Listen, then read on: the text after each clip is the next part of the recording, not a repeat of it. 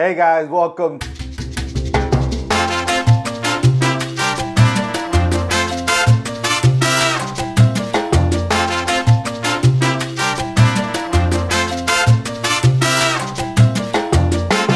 All right, so, oh man, I, hope you don't hear that in the background. If you do hear that in the background, that's the Alkatronic. Today I figured it was a time to give you an update on this Red Sea Max uh, E260 that I have right here behind me because there has been changes since the last video that I posted and also I figured it was time to do an upgrade to it. I've been wanting to randomize the flow in here. Right now, this tank is running on the return pump and I did put a pump behind the rocks and I'll show you here up close here in a minute.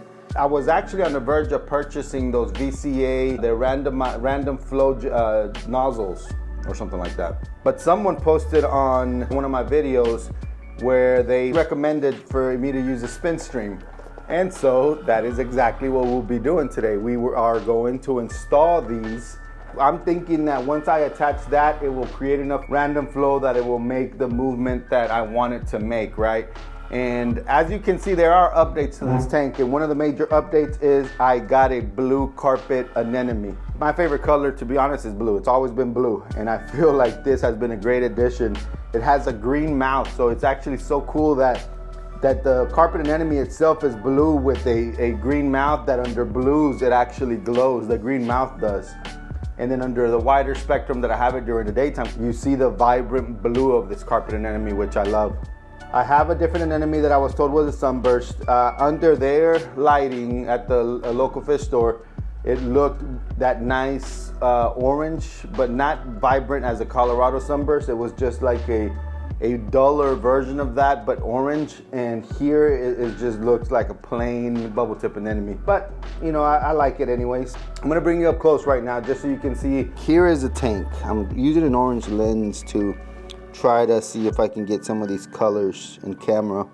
But as you can see, here is this beautiful blue carpet anemone. So I'm debating if I really want to add any more fish especially fish that are skittish and tend to like swim crazy when they get scared like fox faces do because I can see that being a, a, an issue if somebody passes by they get startled they swim all over the place and they end up coming here to get stuck because this I don't know if this is grown and is or is just doing really well and I can't really put a size comparison here but I know that if I put my hand in the tank it is the size of my hand which would I would say it's a good eight to nine inches across, especially when it's fully extended. Uh, then you have your regular bubble tip and three other bubble tips over here, uh, rainbow bubble tips. This Lobo is not doing well. So uh, this is where the tank is at. So now I'm gonna put the camera down, maybe do a quick time lapse and show you where I will install these SpinStreams. All right, so here we go. I'm gonna go ahead and do a quick unboxing just to show you what's in the box and what this pretty much looks like. And it's very straightforward. Empty box, comes with these. Here's the SpinStream itself. These right here are connectors uh, to, so you can find the size that will hook up to the other end of the nozzle on these Red Seas. My understanding is that these should, one of these should fit, so let's cross our fingers. So there's nothing, to my understanding, there's nothing mechanical about these. I'm gonna go ahead and turn off the flow. I don't see an issue with any of these fitting because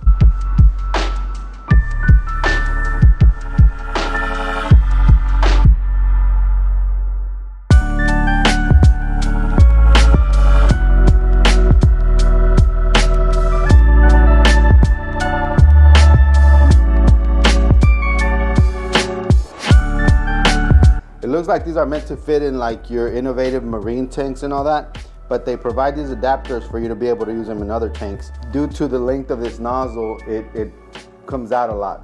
And I'll show you that. And I'm assuming you can cut these to size and it, it could be an eyesore. So, you know, like this, I'm assuming this fits perfectly on an innovative marine one but with this, you can adapt it with this, and then this other end goes to that, and then you have this much sticking out.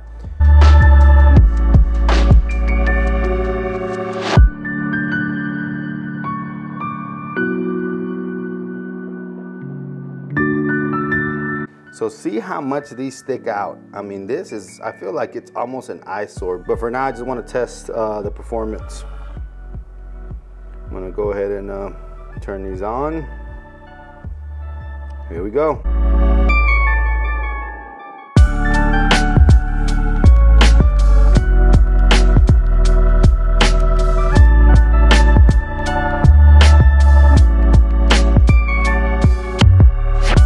I might have to point them a bit up because before that I was getting some agitation at the top. On It looks like on the far one when it points up there is a little bit of agitation. There's a bit of agitation over here too. I would like a bit more though.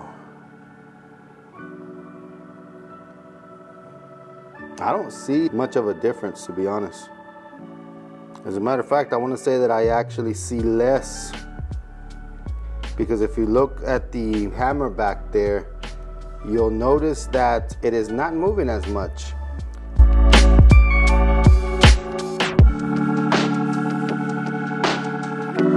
I did move it a bit more to point up so that there's a bit more surface agitation. I'm gonna leave it like that. I do see a bit more movement here with these anemones, uh, with that one over there. Uh, no movement in the sand, which is what I wanted. I didn't want the sand to be stirred up and no, not a lot of movement with the corals on the frag rack. So now those are not permanently gonna be here. We're gonna keep just, this is gonna be a mainly anemone tank. So uh, we shall see. You probably rather see this like this, right? All right, so that will do it for this video. If you're new to this channel, I definitely ask you to please consider subscribing, consider hitting that like button, consider leaving a comment below. Consider continuing to watch every episode every week, and I will continue making them. Until then, I'll catch you in the next one.